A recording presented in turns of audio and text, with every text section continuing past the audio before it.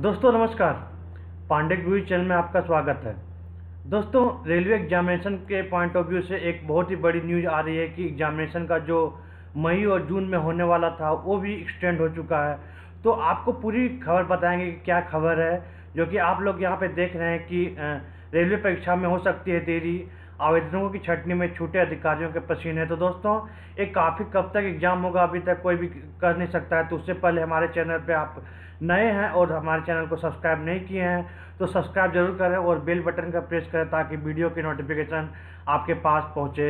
ऐसे latest news और update के लिए। और मैं डेली यहाँ पर स्टडी मटेरियल प्रोवाइड कर रहा हूँ हमारे वीडियो पर तो चलिए स्टार्ट करते हैं, देखते हैं न्यूज़ क्या है। देख रहे हैं कि हिंदुस्तान के पेपर है और यहाँ पे आज आज ही के दिन थर्टीन मई के दिन ये न्यूज़ आई है कि रेलवे परीक्षा में हो सकती है देरी।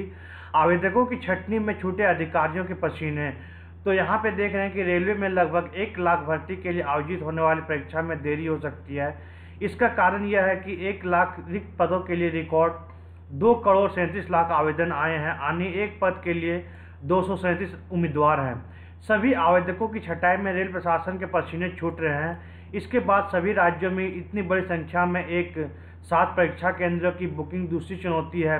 दोस्तों, स्वाभाविक बात है कि इतने एक साथ एग्ज़ाम लेना बहुत ही मुश्किल काम है। कोई भी एग्जामिनेशन जो भी कंडक्ट होता है तो रेलवे में हाँ इस बार दो करोड़ से ज़्यादा फॉर्म आए हैं तो इसको मेंटेन करना रेलवे के लिए बहुत ही दिक्कत की बात है। तो रेलवे मंत्रालय के एक वरिष्ठ अधिकारी ने बताया कि फरवरी में अधिसूचना जारी होने के बाद उम्मीद की जा रही थी कि मई में प्रवेश पत्र भेजने की प्रक्रिया शुरू कर दी जाएगी, जो कि दोस्तों मई मंथ अभी चल रहा है बट अभी कोई न्यूज़ अभी तक नहीं आई। है लेकिन एक लाख रिक्त पदों के लिए दो करोड़ सैंतीस लाख आवेदन आने से रेलवे में सकते में हैं। सभी आवेदनों की छटनी में रेल कर्मियों की भारी मशक्कत करनी पड़ रही है। इसके अलावा रेलवे बोर्ड ने विभिन्न पदों के लिए आयु शैक्षिक योग्यता और फ़ीस में संशोधन किए जिसके कारण भी अधिकारियों को मेहनत करनी पड़ रहा है। जैसे कि दोस्तों, अभी कुछ रिफंडेबल अमाउंट का यह है कि उसमें अकाउंट नंबर डाला गया था। तो ये सारी प्रक्रिया बहुत ही लंबी हो गई है। तो ये सब वेरीफाई हो रहा है।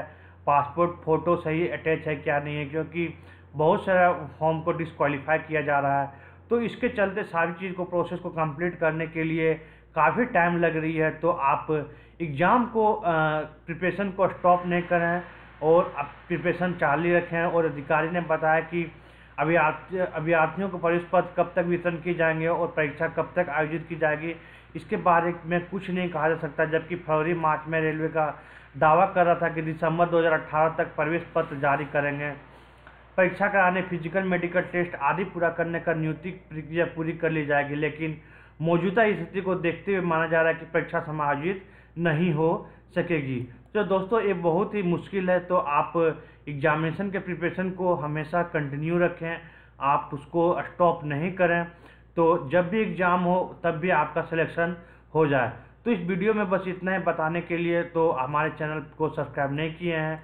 तो सब्सक्राइब करें और बेल बटन को प्रेस ज़रूर करें ताकि वीडियो की नोटिफिकेशन आपके पास सबसे पहले पहुँचे। तो वीडियो देखने के लिए धन्यवाद। जय भारत, जय हिंद।